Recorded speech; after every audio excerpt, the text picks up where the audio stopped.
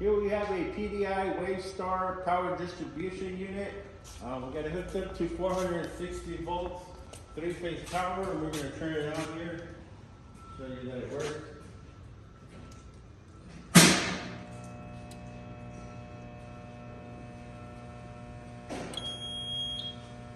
Okay, so you see that it's uh, booting up here. And all you gotta do is like press any button for the, uh, okay, hold on.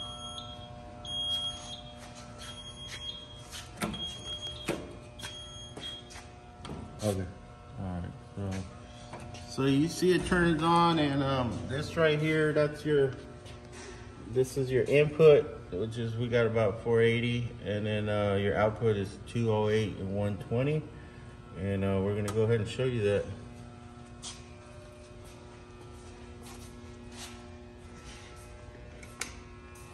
Okay, so power gets hooked up to these four, and it goes through your trans through a uh, actually goes through a through a circuit breaker first, and then it goes down to your transformer. So we'll be checking the same power right at the transformer. So you can see it's 460. And we'll check the other leg.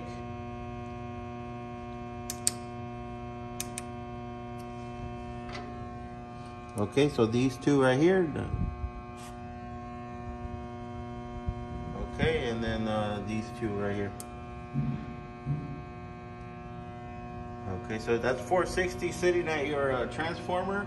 And then the output is right over here. So it's gonna be these two.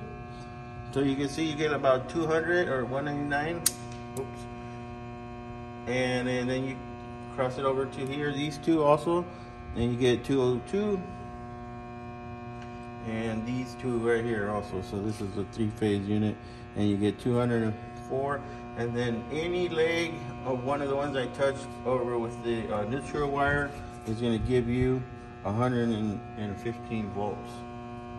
Okay, so that's your output, and that gets distributed over to your your output uh, board right here. So we're going to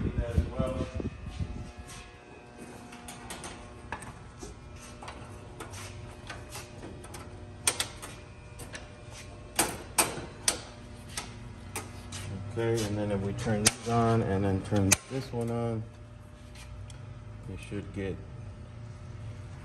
20, 204 and 200 203 same here.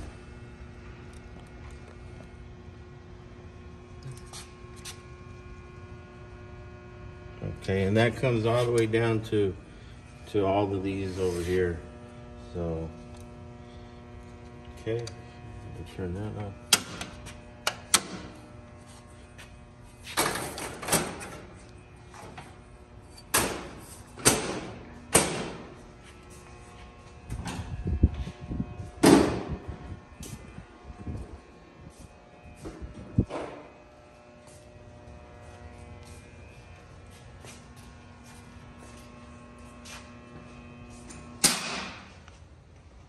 Okay, that is the PDI Wavestar Power Distribution Unit.